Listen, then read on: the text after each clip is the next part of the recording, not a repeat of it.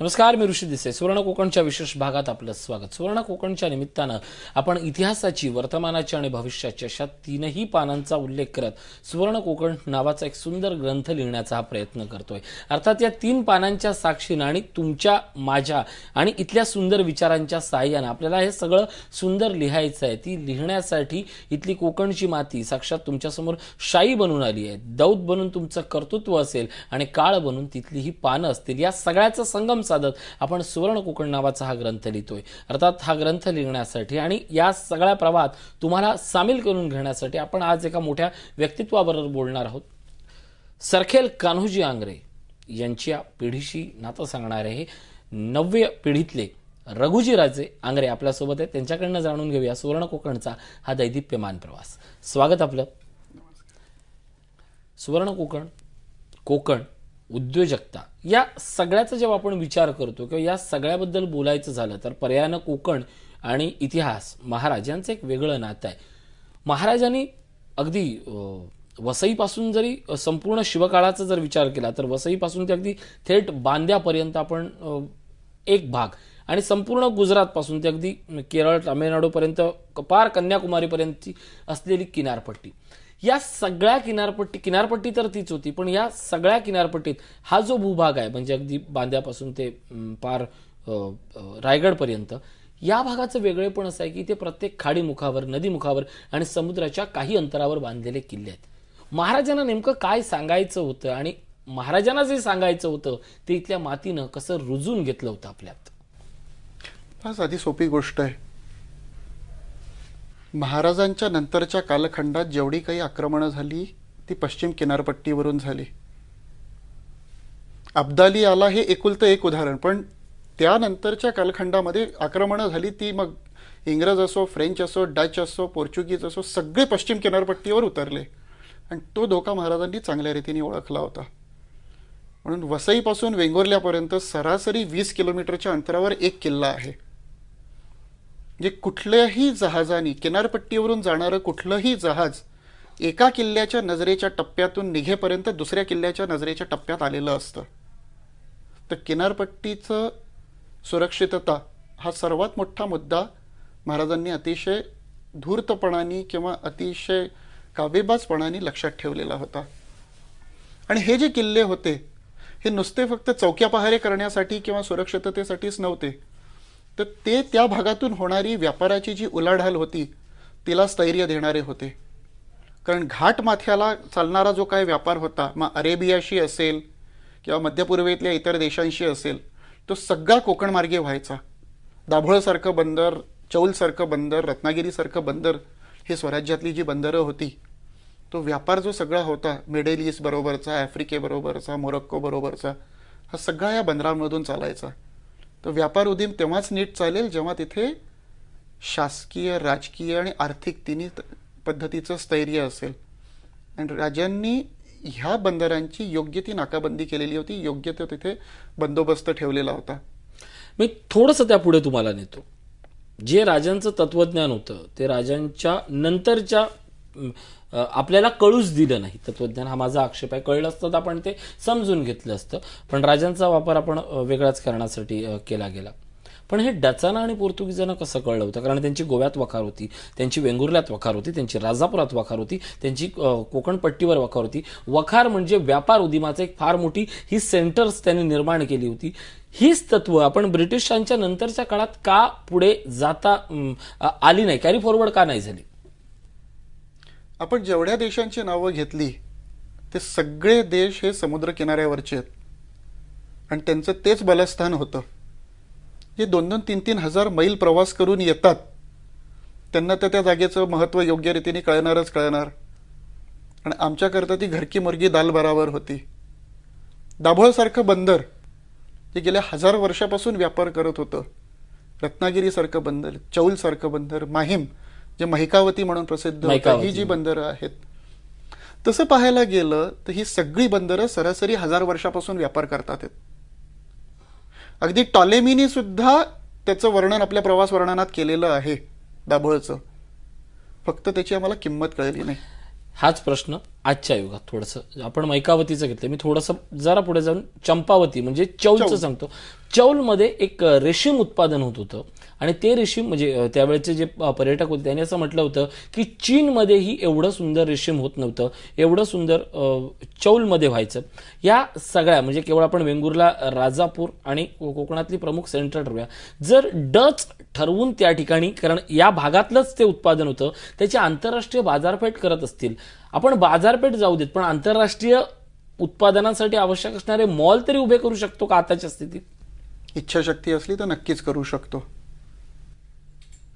श्रीलंका आपल्यापेक्षा वेगळा नाही आहे श्रीलंकेची अर्थव्यवस्था सुद्धा आपल्या एवढी काही मजबूत नाही आहे श्रीलंका जर करू शकतं श्रीलंका जर त्यांचं सेलोनचं मार्केटिंग करू शकतं तर आपण का नाही करू शकत? इच्छाशक्तीची गरज आहे. साधी सोपी गोष्ट मी सांगेन. अलिबागच्या जवळ एक आग्राव म्हणून ठिकाण आहे. आग्रावच्या किनारपट्टीवर शेडाच्या होड्यांच्या स्पर्धा होतात. महाराष्ट्रात आज किती मंडळींना माहिती आहे? त्याचं मार्केटिंग झालेलं नाही. केरळच्या होडीच्या स्पर्धा सर्वांना माहिती आहेत. कारण केरळने त्याचं मार्केटिंग केलं. आमचा कोळी समाज करतो ते सहज त्यांची गंमत म्हणून करतो. पण त्या शेडांच्या होड्यांच्या स्पर्धा दुर्लक्षित राहिल्या. आता आम्ही ते सुरू केलंय की ह्यासाठी लोकांना बोलवतोय मार्केटिंग करतोय. कोकणचा माणूस कोकणची संस्कृती या सगळ्याबद्दल बोलताना हे माणूस कष्टाळू आहेतच त्याला कोणी नाकारत नाही. यांचा माल दर्जेदार आहेतच.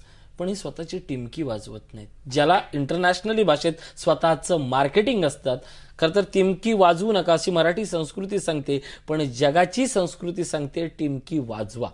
आपण कधी शिकणार टिमकी वाजवायला? आपल्या प्रॉडक्टची ज्याला किंमत आहे ज्याला व्हॅल्यू आहे ज्याला प्रॉडक्ट आहे ज्याला स्वतःचा ट्रेडमार्क आहे. गरज आहे काळ ते शिकवतोय. आपली टिमकी जर आपण आज वाजवायला सुरुवात केली नाही तर उद्या आपली चुणकी सुद्धा वाजणार नाहीये. आणि ती टिमकी वाजवायचे आता दिवस आलेले आहेत. नाहीतर आपण पाहत गेलो जसं उत्तर कोकणमध्ये केमिकल बेल्ट्स आलेत आणि उत्तर कोकणचं कोकणत्व नष्ट झालेलं आहे. शहरीकरणाच्या रेट्यामध्ये कोकण कोकण राहिलं नाही आणि शहर झालं नाही. दक्षिण कोकणावर सुद्धा तेच प्रसंग जवळ आलेले आहेत. तेच ढग आता दक्षिण कोकणच्या डोक्यावर आहेत. कोकणातल्या माणसांनी लवकरात लवकर हे पाहणं गरजेचं आहे.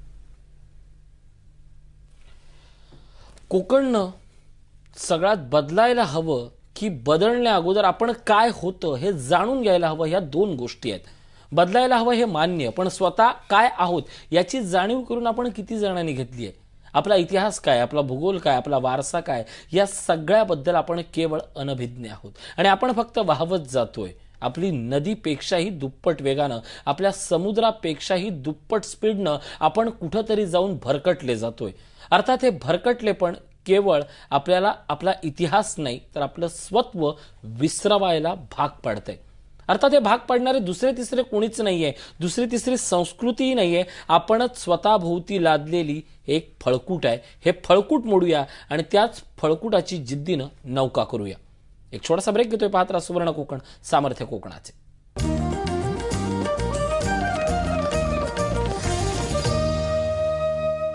ब्रेकनंतर स्वागत आपण बोलतोय रघुजी राजे आंग्रे यांच्यासोबत.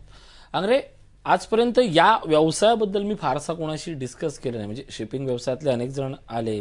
त्यांच्या संदर्भात मी ट्रान्सपोर्ट संदर्भात बोललो पण एक पारंपरिक व्यवसाय त्या संदर्भात मी कुणाशीही बोललो नाही. आज तुम्हाला पहिल्यांदा तो प्रश्न विचारतोय. कोकणात प्रचंड समुद्रकिनारा आहे प्रचंड मत्स्यमारी होते. पण आज वाईट वाटतं की ज्यावेळी कोकणात मुंबईहून कोकणकडे जाताना एखादी नौका कुठून तरी गुजरातहून एक्सपोर्ट होऊन ट्रकामधून भरून ती गावी जात असते. एक एक एक काळ होता की संगमेश्वरी नौकांना स्वतःचा असा मान आहे जो अजूनही आहे. पण आज ही काम करणारी माणसं नाही आहेत मुळात आपल्याला आपली नौका काय आहे तेच ठाऊक नाही आहे या नौकांचे प्रकार काय होते आणि यातली विविधता आजच्या समुद्राला काय त्याची आवश्यकता आहे? बस आधी सोपी गोष्ट आहे. शिवाजी महाराजांच्या कालखंडात किंवा त्यानंतरच्याही शंभर वर्षात कोकणामध्ये नौकांचेच अठरा प्रकार होते. संगमेऱ्या फतेमाऱ्या गलबत गुलाब शिबाड तांडेली मचवे. आज सर्वच्या सर्व ह्या ज्या गोष्टी आहेत त्या म्हणजे समुद्रात जाणारं एक वाहन. आज आपल्याला यॉट माहिती आहे स्पीडबोट माहिती आहे लॉन्च माहिती आहे कॅटमरान माहिती आहे आणि जहाज माहिती आहे. स्थानिक भाषेत गेलात तर पात माहिती आहे बल्याव माहिती आहे. संपला बस. आपला विषय. विषय दुरून जाणारी एक श्रीलंकेची बोट असते. या व्यतिरिक्त तीन बोटी व्यतिरिक्त ठाऊक नसतं. आता संगमेऱ्यांचं जसं आपण उदाहरण घेतलं तर ह्या ज्या संगमेश्वरी बोटी आहेत या फक्त आणि फक्त शिवाजी महाराजांचं आपल्याला गेलेली देणगी आहे. ज्या ब्रिटिश बोटी असायच्या साधारण साडेतीनशे टनाच्या पुढच्या असायच्या आणि आपल्या ज्या बोटी असायच्या त्या उथळ पाण्यात चालणाऱ्या असायच्या. तर ब्रिटिश बोटींना कम्पीट करू शकतील अशा बोटी शिवाजी महाराजांनी डेव्हलप केल्या. मात्र ब्रिटिशांचा दारुगोळा चांगला असायचा बंदुकांचा टप्पा जास्त असायचा तोफांचा टप्पा जास्त असायचा.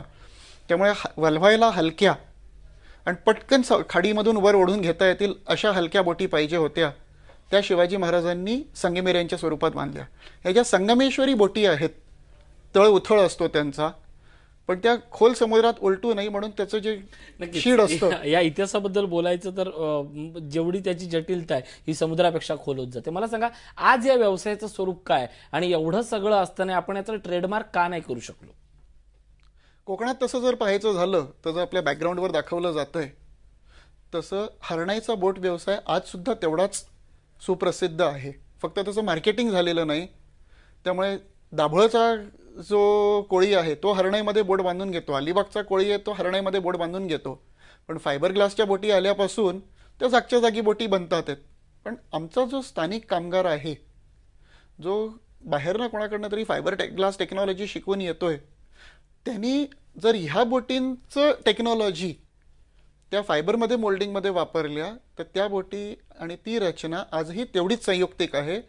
जे आज सुद्धा आपल्याला राजापूर आणि दापोलीच्या परिसरात लक्षात येत आहे आज मेक इन इंडिया सारखा ज्यावेळी सरकारी ब्रँड येतो त्यावेळी अशा पद्धतीच्या देशी उद्योगांना जनतेसमोर आणि शासनासमोर आणण्याची गरज निर्माण झाली आहे? अव- अगदी. अगदी गरज आहे. कारण काय आहे की प्रत्येक गोष्ट इम्पोर्टेड तेवढीच चांगली. हा जो एक समज आहे त्याच्याही पलीकडे जाऊन ती ह्या वातावरणाशी सुसंगत आहे की नाही हे पाहणं अत्यावश्यक आहे. आणि मेक इन इंडिया आपण जेव्हा म्हणतो तेव्हा ह्या देशाशी सुसंगत या वातावरणाशी सुसंगत प्रॉडक्ट असणं सर्वात महत्त्वाचं आहे. आणि जे लोकल मंडळी जी ह्या वातावरणात जन्माला आली आहेत वाढली आहेत जोपासली आहेत ती अतिशय समर्पकपणे करू शकतात. मित्र हो आपण आपले ब्रँड आणि आपल्या वस्तू यांच्यावर प्रेम करत नाहीत. अर्थात हे जर प्रेम मनापासून केलं असतं तर त्याची जगभर पोचवण्याची जी किमया असते ती आपण यशस्वीरित्या साधली असते. कदाचित या वाक्यानं अनेकांना आश्चर्य वाटेल. आपण आपल्या वस्तूवर प्रेम म्हणजे नेमकं काय करायचं? जर परदेशी थाई फूड तुमच्यापर्यंत अतिशय प्रेमानं तुमच्यापर्यंत पोचवलं जात असेल कारण त्यांची आत्मीयता होती पण आपल्याकडचे साधे शिरवळे असतील किंवा हरण्याची बोट असतील या गोष्टींमधली आपली आत्मीयता संपली आहे. आणि आपल्या दृष्टीनं ती केवळ आणि केवळ इतिहासातल्या पानांमध्ये लपलेल्या या आठवणी राहिल्या आहेत या आठवणी अगोदर आपण शोधूया आणि नंतर त्याचं ब्रँडिंग करूया आणि नंतर आपल्या प्रांताला ओळख मिळवून देऊया. एक छोटासा ब्रेक घेतोय पात्रा सुवर्ण कोकण सामर्थ्य कोकणाचे.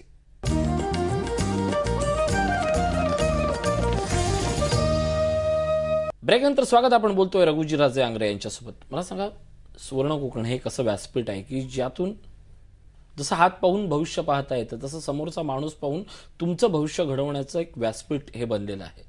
सतीश परब यांचा हा सगळा उपक्रम आहे. उद्योजकाला उद्योजक विचारवंताला चांगले विचार आणि काम करणाऱ्या माणसाला काम करण्याची संधी कुठे असते हे सगळं सांगण्यासाठी गेले दोनशे एपिसोड चाललेला हा सगळा आमचा सुंदर प्रयत्न आहे.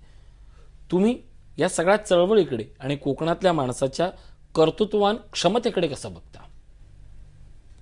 सर्वप्रथम मी अभिनंदन करतो परबजींचं की इतका स्तुत्य उपक्रम त्यांनी कोकणाच्या मातीसाठी राबवलेला आहे. हा जो उपक्रम आहे कोकणातल्या माणसाला त्याच्या स्वत्वाची जाणीव करून देणं आणखीन त्याला मोटिवेट करणं की तुमच्या आमच्यासारखे दहा जण हा प्रयत्न करू शकतात तर उरलेले शंभर का करू शकत नाही? किंवा ही उदाहरणं लोकांच्या समोर नेणं.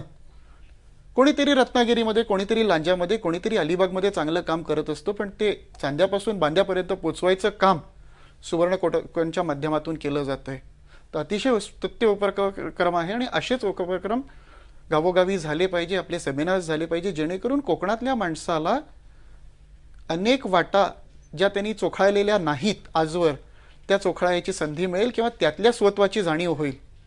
मला वाटतं अनेकानेक असे उपक्रम व्हायची गरज आहे.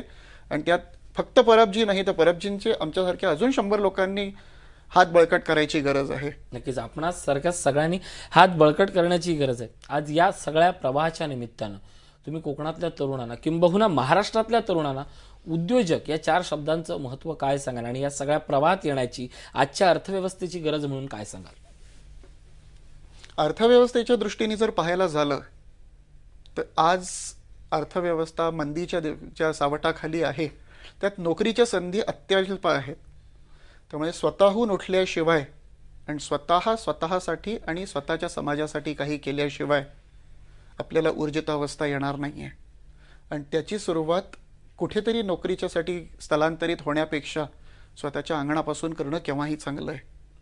नक्कीच. त्याचा आता एकच आणखी महत्त्वाचा प्रश्न पर्यटन या सगळ्या विषयात आपण बोलतच असतो. पण पर्यटन म्हणजे डेक्कन ओडिसी येणं नव्हे. पर्यटन म्हणजे एखादं टूर पॅकेजेस येणं म्हणजे नव्हे. पर्यटन म्हणजे नेमकं काय आणि याची सुरुवात एक बदल म्हणून सकारात्मक या सकाळच्या सुंदर वेळी काय सांगाल आपण? जसं आपण योग्य रीतीने म्हटलं की पर्यटन म्हणजे डेक्कन ओडिसी नव्हे. त्याचप्रमाणे आलेला पर्यटक म्हणजे माझ्यासाठी कोंबडी आहे ती मी कापून खाणंही नव्हे.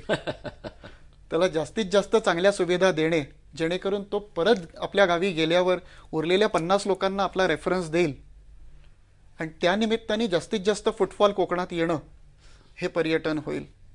इथल्या माणसाला जेन्युइनिटी जर मुंबईचा किंवा पुण्याचा टुरिस्ट आला आणि तो कोकणामध्ये येऊन जर चायनीज खाऊन किंवा थाय फूड खाऊन परत गेला तर ते पर्यटन नाही आहे तर चांगले उकडीचे मोदक म्हणा सुकट म्हणा भाकरी म्हणा तांदळाची भाकरी म्हणा ह्या प्रकारचं जर जेवण त्याला चांगल्या रीतीने मिळालं हायजेनिक जेवण मिळालं मग शाकाहारी मांसाहारी अनेक प्रकारचे आहेत. कोकणातल्या आमच्या रानभाज्या आहेत. अतिशय उत्कृष्ट रानभाज्या आहेत. त्यांची चव एकदा रेंगाळायला लागली की त्याचंही फेस्टिवल होऊ शकतं. त्या निमित्ताने लोक येऊ शकतात. ती जीभ एकदा कोणाचाही प्रवास हा पोटापासून सुरुवात होत असते. एकदा माणसाच्या जिभे मार्गे पोटात प्रवेश झाला की सु चांगले दिवस आलेच समजा सुवर्णयोग आलंच समजा. मित्र हो प्रत्येक प्रांताची स्वतःची एक ओळख असते आणि प्रत्येक प्रांत स्वतःच्या कर्तृत्वावर धमन्यांवर इतिहास वर्तमान आणि भविष्य लिहित असतो. या गोष्टी ज्यावेळी आपण समजावून घेतो ना त्यावेळी एक गोष्ट समजावून घ्या की कोकण म्हणजे सुंदर अशी ती सुरंगीची ती फुलं आहेत. जेवढी ती जिवंत असताना त्याचा एक तजेलपणा असतो तेवढाच तजेलपणा त्या सुकलेल्या गोष्टीतही असतो. हा सुगंध आपल्याला बकुळीच्या फुलातनं मिळाला आहे हा सगळा सुगंध त्या वळेसारातनं मिळाला आहे प्राजक्ताच्या फुलातनं मिळाला आहे हा सुगंध आपण जपूया आणि आपल्या कोकणचं नाव पुढे करूया. अर्थात हे नाव जर पुढे करायचं असेल तर तुम्हाला एकच गोष्ट करावी लागेल. ती ताठ मानेनं आणि ताठ कण्यानं कोकणच्या मातीत पाय रोवून तुमचा स्वतःचा उद्योग व्यवसाय किंवा स्वतःचं नाव मोठं करावं लागेल. यासाठी अर्थातच सुवर्ण कोकण तुमच्यासोबत आहेत. स्क्रीनवर नंबर दिसत आहेत त्या नंबरशी संपर्क साधा. तुमच्या मनातले प्रश्न आम्हाला सांगा. तुमचा व्यवसाय आणि या व्यवसायाशी संबंधित असलेल्या सगळ्या प्रश्नांची उत्तरं आम्ही देऊ. रघुजीराजे आज तुम्ही इथे आलात. खूप सुंदर मार्गदर्शन केलं. आभार.